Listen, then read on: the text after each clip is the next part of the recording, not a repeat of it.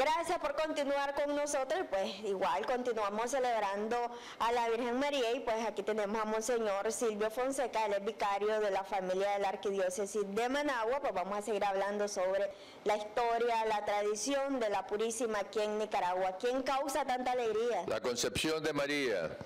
Bueno, Monseñor, coméntenos un poco más ah, de esta historia, de esta celebración de todos los nicaragüenses, pues que no solo aquí en este país, la gente que vive en otras naciones, pues también acostumbra a celebrar la Purísima, aunque esté pues fuera de Nicaragua, Monseñor. Bueno, primero buenos días a todos los televidentes, agradecer al Canal 12 por este homenaje que le están haciendo a nuestra patrona nacional y también me uno a los sentimientos de Alfonso Valdoceda, miré a su esposa en el hospital el viernes pasado, ya grave, y a pesar de su estado, eh, se unió con nosotros a la oración. Mi sentimiento pues a, a Alfonso y a toda su familia. Lo felicito las exposiciones que ustedes han hecho hoy en la gritería. Yo quisiera compartir eh, algunos tips muy importantes. Primero, este es un privilegio especial de Dios para Nicaragua. Y por ende, eh, no es una simple tradición, sino que va mucho más allá. Es una fe profunda de los nicaragüenses que no solamente se lleven en recuerdo, sino en la conciencia y en la sangre. Aquí desde que se nace ya estamos creciendo con amor, con el amor a María. Pero además es una referencia nacional e internacional, como tú dices. Nacional porque católicos y no católicos sabemos que este día hay algo especial, único en el mundo, porque en otros países no existe la gritería. El que no ha estado afuera piense que así es, pero no, ya saben ustedes que se debe a la preparación, a la vigilia, digámoslo así, de la, de la proclamación del dogma de la Inmaculada Concepción, hecha por Pío IX en 1854. Entonces los franciscanos instituyeron lo que ya conocido históricamente. Pero eh, dentro, de los, eh, dentro de las anécdotas que podemos hoy recordar, porque lo sabemos, primero es que es la fiesta más importante de los nicaragüenses. Y al decir lo que lo llevamos en la sangre, en cualquier parte del mundo, ahí sí, donde hay nicaragüenses, se reúnen, vienen desde partes muy lejos para celebrar la gritería. O sea que esto trasciende a una simple celebración, porque no es una celebración cultural, sino que es una celebración de fe donde Dios actúa en la historia. Los católicos nos reunimos para celebrar la gritería de cualquier manera, y más aún, cuando uno está afuera, lo sentís, eh, es más sensitivo porque sabes que estás lejos de tu país, te trasladas a él y luego hacer lo que se pueda en donde estén. Entonces, yo creo que hoy nosotros los católicos tenemos que hacer dos cosas. Primero agradecer a Dios por ese regalo, por ese privilegio de la encarnación de Dios en esta historia nacional. María es una referencia histórica, por eso decimos María de Nicaragua, Nicaragua de María. Y en segundo lugar, hoy más que nunca, si siempre lo hemos dicho, conservar nuestra fe e invocar a María en todos los momentos de nuestra vida nacional. Monseñor, y algo importante también es que aparte pues de la tradición que viene de familia, de generación en generación, pero también no se pierde esa fe de los favores recibidos. Muchas personas pues eh, tienen mucha fe porque tal vez tuvieron alguna enfermedad, algún tipo de problema, pues, y que la Virgen intercedió y les ayudó y de esa manera también ellos, algunos inician eh, eh, la celebración de la Virgen. Sí, como decía, es un acto de fe muy profundo que solamente se explica desde Dios, porque eso aquí no hay matemáticas que funcionen, el porqué de esa fe profunda de la gente que, eh, como decimos nosotros, responde, promete, cumple con sus promesas de milagros, y no solamente personales, nosotros escuchamos diariamente en nuestro país hoy Estamos rezando rosario pidiendo por Nicaragua. Eso significa mucho, muchísimo. No solamente es un favor personal, sino también un favor nacional. Y tenemos siempre la seguridad de que María escucha nuestras súplicas. Hoy vamos nosotros a cantar, vamos a ir a las calles. Y cantamos cualquier canto, porque eso lo sabemos de memoria. Y eso lo sabe de memoria el que va a la escuela y el que no va a la escuela. Todos sabemos eso. Esto es algo muy interesante que quiero darle relevancia. Y dentro de esos cantos, quiero solamente el canto de dulces signos, que dice así, dulces signos cantando a María, vencedora del fiero dragón. Saludemos al plácido día de su hermosa y feliz concepción. Hoy nosotros vamos a ver en muchos altares a la Virgen con una serpiente que es del Génesis, donde ella está pisando al dragón del mal que trajo al hombre en el pecado original, del mal que trajo en la sociedad. Tengamos fe de que María interceda ante su Hijo Jesucristo para que esa redención que trajo a los católicos y no católicos, a todo el mundo, se haga realidad en nuestra sociedad de que cualquier mal ella intercederá para que nosotros eh, vivamos conforme a los designios del Señor. Monseñor, eh, digamos usted qué mensaje le da a los nicaragüenses, eh, también las personas que son de otros países, pues que aprovechan también para participar. el día de hoy, ¿cómo celebrarla, esos cuidos, esa devoción que deben de tener, pues, mientras anden por las diferentes calles, pues, cantándole a la Virgen? Bueno, quisiera recordar la poesía de Rubén Darío, si la patria es pequeña, uno grande la sueña. Y hay que valorar, reconocer y agradecer que los nicaragüenses, a pesar de cualquier circunstancia que estén viviendo fuera, han exportado esta devoción a María, esta gritería. En las parroquias de sacerdotes, yo que viví en Estados Unidos estudiando muchos años y que he visitado otros en razón también de mi formación sacerdotal, es obvio que un sacerdote de fuera no comprende qué cosa es la gritería, hay que explicarle. Entonces, los nicaragüenses nos hemos encargado de exportar, de evangelizar a otros países a través de la gritería. Yo por eso desde aquí Seguro que estamos, nos están viendo en cualquier país donde estén a través de las redes sociales. Les agradecemos, sigan adelante evangelizando, porque Dios tiene su plan.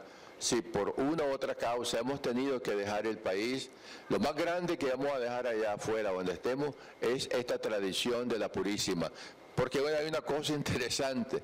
Si nosotros le explicamos y nos van a apoyar en cualquier parte, en cualquier parroquia y a los vecinos y se van a preguntar ¿y cómo es eso que cantan y gritan? Es obvio, cada país tiene lo suyo, ¿no? Pero al final, eh, aunque la gente no, lo logra entender, nos apoyan eh, como católicos porque la iglesia es universal, pero también algo interesante es que solo los nicaragüenses entendemos el fondo de esta tradición de la Purísima. Estas cosas no se explican y si se explican, pues uno respetará las explicaciones, pero no lo entenderán lo como nosotros lo vivimos y lo sentimos. Eso es el milagro de ser nicaragüense.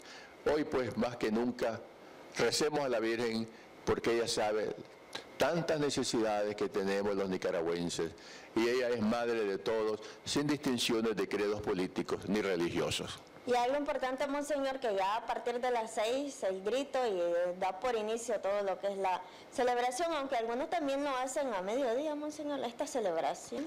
Es que todo el día es de fiesta. Es decir, eso es un espíritu que los nicaragüenses, a pesar de la pobreza de tantos, de miles, no de pocos, la gente ahorra todo el año para esto. Se sacrifica de cualquier cosa con tal de celebrarla con cohetes, con cargas cerradas, con lo que tenemos. Y eso es una bendición para Nicaragua. Hoy los nicaragüenses necesitamos fortalecer nuestra devoción, celebrarla todos los días porque María de Nicaragua, Nicaragua de María. Así es, de esta manera también pues eh, se comparten, digamos, esos alimentos porque ahora vemos que eh, están incluidos no solo pues antes lo tradicional, miramos que era la gorra, la naranja, la caña, el banano, pero conforme ha venido avanzando los años pues hemos visto que también se incluyen los granos básicos que también es importante dentro de los hogares, monseñor. Bueno, se cumple el milagro del Padre Nuestro, danos hoy nuestro pan de cada día y María intercede para que ese pan que tal vez esta semana muchos no han comido hoy van a disfrutar de un plato suculento, un regalo de María en su gritería, porque le decimos quién causa tanta alegría, la, concepción, de, María. Así que pues ese llamado para hacerle a los nicaragüenses que desde temprano pues salgan a cantarle a la Virgen Monseñor para no perder digamos esa tradición y sobre todo pues en familia, que van con esos niños pues enseñándoles el fervor. Y ahí va de todo. Católicos y no católicos, porque María es madre de todos. Todos son acogidos, porque todos somos hijos de Dios e hijos de María. Exactamente, así es. Entonces, pues ya desde mediodía, ya muchos andan. Ya está, ya, ya comenzó a funcionar desde las 7 de la mañana de cocuete yo ahí en mi barrio, a las 12, 11 días, aunque sea una triquitraca. Pero, ¿por qué una triquitraca?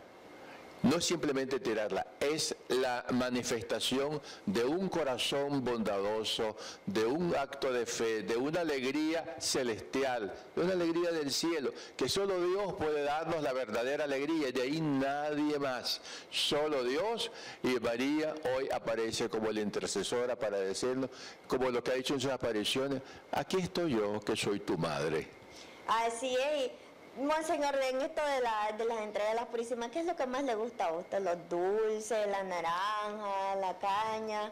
¿O le gusta todo? Bueno, me gusta todo, pero el gofio, por supuesto, que el gofio no lo olviden, que es tan sabroso que lo están olvidando. Eso es importante porque dentro de esto, que se ha unido a lo nuestro, lo cultural, que también es grande, no olvidemos nuestras raíces nicaragüenses. Y eso es lo brindes. La gente eh, tiene que acordarse que somos nicaragüenses hoy, mañana y siempre.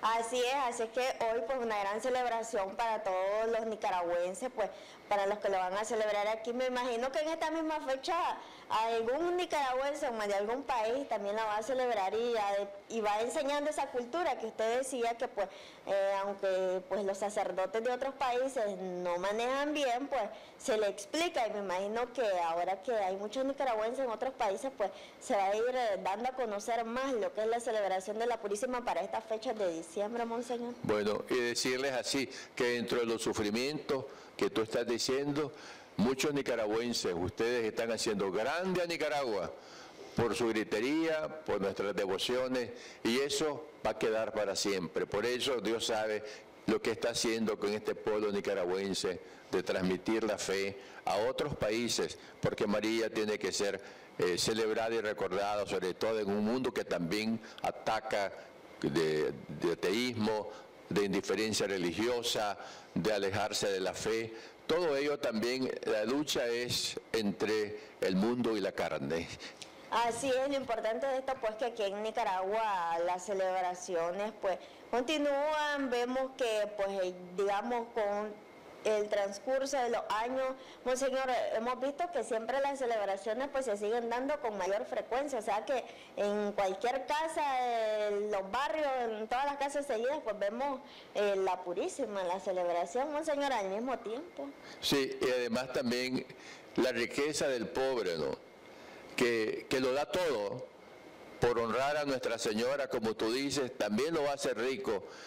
Y eso es el mensaje principal que Dios une a pobres y ricos y ahora es el único día, insisto en esto, especial para los nicaragüenses, porque ni hay diferencias políticas, ni hay pobres, ni hay ricos que estén ahora desunidos, sino todos unidos para celebrar a Nuestra Señora. Y digo, esto es una bendición para todos, porque Venceremos al fiero dragón con la ayuda de la Virgen y viviremos para el cielo, viviremos para Dios. Nicaragua necesita la mediación de la Santísima Virgen y yo les pido por favor que recemos todos por Nicaragua. A ustedes que trabajan en una u otra oficina, no olviden que nuestra sangre es mariana y que tengamos fe que María intercede por todos los nicaragüenses, que esta lucha entre la carne y el espíritu, el espíritu vencerá siempre sobre la carne y el bien sobre el mal. Así es, Monseñor, pues bueno, eh, celebración de la Virgen María, pues ya decíamos eh, este día de hoy, pero pues mañana continúa. Pues ya para finalizar, Monseñor, ese mensaje que usted le da a todos los nicaragüenses en esta fecha específica. Dos cosas. Primero, que celebremos en familia, como nicaragüenses, que estemos todos juntos en esta fiesta de la gritería. Y segundo, mantengámonos firmes en nuestra tradición mariana, porque el que así lo hará estará siempre en paz y andará por caminos seguros. Por eso necesitamos conservar a toda costa nuestra tradición nicaragüense y esta gritería, como digo, que es un privilegio especial que Dios da a este país en medio de su dolor. Bueno, muchísimas gracias, Monseñor. Nosotras sí nos vamos a ir a una pausa comercial, pero usted no le cambie que ya regresamos con más.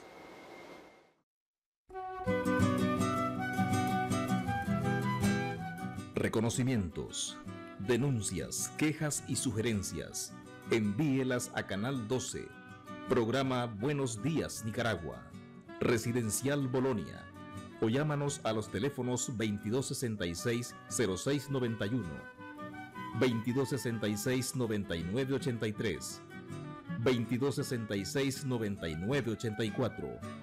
Escríbanos a nuestro correo electrónico canal12 arroba canal12.com.ni. Redes sociales, Facebook Noticias 12 Nicaragua, YouTube Canal 12 Nicaragua. Twitter, arroba Canal 12 Nic. Visita nuestro sitio web www.canal12.com.ni.